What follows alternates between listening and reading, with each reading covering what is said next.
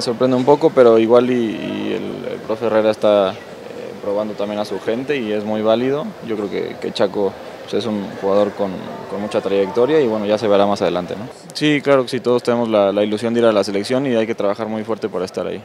Hay que trabajar, hay que trabajar y todos estar este, dispuestos a dar lo mejor de, uno a la selección. ¿no? Si uno es tomado en cuenta buscar aportar lo, mejor de ti al equipo y si no, apoyarlo donde sea.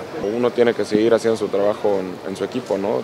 intentar hacerlo bien y luego, bueno, eso ya el tiempo dirá, ¿no? Si le llenas el ojo al cuerpo técnico que, esté en, ese momento en la selección y si no, te digo, apoyar eh, de donde sea para que México sienta buena vibra y gane. Lo, lo, que dije, ¿no? Que lo importante es estar unidos, eh, el gremio apoyar 100% a la selección y que se consigue el pase al Mundial. Hoy en día es el líder, es, el líder del torneo, el, equipo que a mi parecer es el que de los que mejor funcionamiento tiene y bueno, es una decisión que, que la tomaron los, los altos mandos directivos y ojalá y funcione muy bien.